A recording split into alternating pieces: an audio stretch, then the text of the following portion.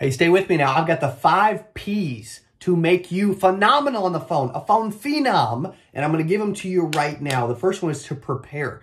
Majority of insurance agents do not prepare before they jump on the phone. Here's what I mean. You have to prepare your mindset. You got to be mentally ready and focused and confident. you got to have a little swag. You got to be super confident when you jump on the phone. You're not going to have success. Okay, you also, not only mentally, you have to prepare yourself, but uh, your energy level. You have to prepare your own personal energy level. When you guys have seen my live dials in Jamaica, live cold calling sessions, live dialing leads, appointment sessions, all those kind of things, I've always prepared my energy level by doing jumping jacks, push-ups, uh, running around the office. Like I've got my energy up. I'm telling you, words will flow out better and you will have more success at communicating on the fly with people if your energy is really high. Trust me on that super freaking success hack at working the phone and it telling you it works. Also, you got to prepare a script, an outline. Like if you don't have a script, 92% of insurance agents fail in the first three years. And its majority is they don't know what they're doing when they actually get on the phone and then they struggle on the phone and they wonder why. Okay, you also need to prepare, you got to prepare a script. You got to you got to know like where you're going from hello to thanks for your business, welcome to the family.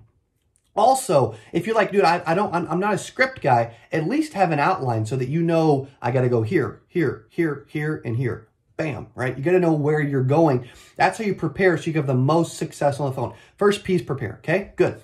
Second P, and as you're taking notes today, make sure that you're adding some of these little sub subtopics as we go, because these will guarantee that you become a phone phenom.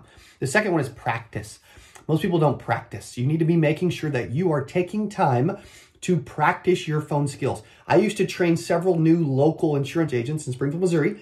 Four or five years ago, I had like a little small team, and I would have them practice in the mirror and actually role play with themselves in the mirror before they got on the phone. How often do you practice your script? I'm talking practicing the opening of your script, practicing, practicing your tonality, your voice inflection, practicing your responses to objections so you're ready. Like in my office, my, I have two different sales teams. I'm phenomenal at growing and building sales teams. One of my favorite things to do. Okay, if you have a team, let me talk to them. Okay, I promise you with both of the teams, a couple things that we are doing is we are having them role play twice a day, every single day. We're watching videos, we're training, we're role playing. Why? Because we want to practice our success. We want, be, we want to be prepared for our success. So when we jump on the phones, we're dominating, we're ready, we're having success. I'm telling you, you need to take time to practice every once in a while. The words, how they're coming out, what they're saying, how they sound, right? Objections. You got to be practicing all these things.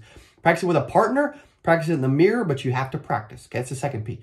Third P is you have to press play. Here's what I mean. Start recording your calls. You will learn so much by playing, by recording your calls, playing the recording, and then listening back to what you are saying. I can promise you, it will blow you away. You will you will hear habits. Like I was listening to a recording the other day, and there was this female salesperson that said, you know, 63 times in one call in like 17 minutes. That is insane. A lot of us have bad habits and we're not catching them. A lot of us are, are pausing or saying this or always saying, okay, great, after every time somebody says something. Like you need to be pressing play, record, and then press play and listen to yourself, okay? If you, when you take time to listen to yourself, it shows that you're more serious about success. Professional athletes, they watch game film. Professional salespeople, they press play and they listen to themselves on the phone. So the third P is freaking press play and start listening to yourself constantly. Until you get really good, you have to be doing this. Promise me you'll do this, okay? Fourth P is you got to also take time to polish. You got to polish what you're doing. After you listen, go back and polish it. Make it better. How do you improve it? How do you take a second and step back and say, okay, what's some of these little pieces of the puzzle that if I'm like, okay, this tool sucks, eh, getting rid of that, right? Don't need that. Okay, oh, th th this is good, man. I heard I heard Cody use this. I'm going to write that down and I'm going to use that. I'm going to start to polish up my game so that I get really, really good on the phone. Most of us do not take time to polish. Do you? That's the question. Do you? Let me know in comments below. How serious are you? Do you prepare, practice, press play, and polish, man? You got to take time to polish this thing out, right? You got to add, you got to put some freaking wax on the vehicle every once in a while. You can't just show up because it only takes about a day to get rusty, by the way. And but if, if you don't practice the next, if you don't make calls or practice in the, today, tomorrow, you're rusty. But if you do all these things, you start to add all these things, I promise you, boom, boom, boom, you start to have a lot more success. Everything will start being brighter. You start making more sales, making more money. You have a better chance of actually succeeding and winning in this business. I guarantee you this will help, but you got to stay extremely polished. Successful people do what unsuccessful people are unwilling to do. The greats, they take time to, to, to make sure that the minor details are freaking flowing, man. Like they're polished, they're polished, they're polished. Are you polished? How polished are you? Or are you pretty rusty? Okay, that's the fourth P. Fifth is perform. When the lights come on, it's time to perform. I thought I'd throw a fun positive one in there for you guys. You have to be ready to perform. Okay? When someone says hello, boom, are you ready? Betty. Yeah, this is Betty. This is Cody. Hey, I'm getting back to you about boom, right? What are you saying? When the lights come on, are you performing? Hey, I'm not interested.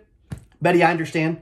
I knew you wouldn't be. It's my job to just get you the information since you responded. Now, I'll be out there Friday. Should I drop this off in the morning or the afternoon? Which is typically better for you? Mornings or afternoons? Boom. Like you have to be ready to perform. When the lights come on, are you ready? When the lights come on, are you performing at optimal frequency on a scale of 1 to 10? How good are you at performing when you're put on the spot? That's what most people don't think about. When when when I get on the phone, like it's never going to go the same. There's going to be random things that happen. Someone's going to say something I've never heard before. Like I learned several years ago, somebody said, "Hey, stick it in the mail," and I started. I I actually came up with something, and it worked. So I'm like, boom, I'm going to use that. Right? Absolutely happy to stick in the mail. Actually, I'll be out in your area tomorrow. Why don't I just drop it off? It's like mailing it, but I'm going to mail it in person. Is morning or afternoon better for you? Like you have to have responses for all this little stuff, man. Like I'm giving you nuggets of gold. Like we've, we've got a CA cell system, okay, with with literally 400 plus sales training videos so that you can train every single day. If you don't own that, dude, why the freak not, man? Come on now, right? Because you have to be ready to perform, which means you got to be practicing, preparing, pressing play, polishing and being ready to perform, right? Well, this is one of the things I'm gonna, I'm, I'm actually going to Texas for a Texas training tour. Okay. And I'm going to Dallas, Houston, San Antonio, and Austin literally this week for four days in a row. If you, if you haven't heard of that, go to CodyAskins.com forward slash tour if you live in Texas and sign up.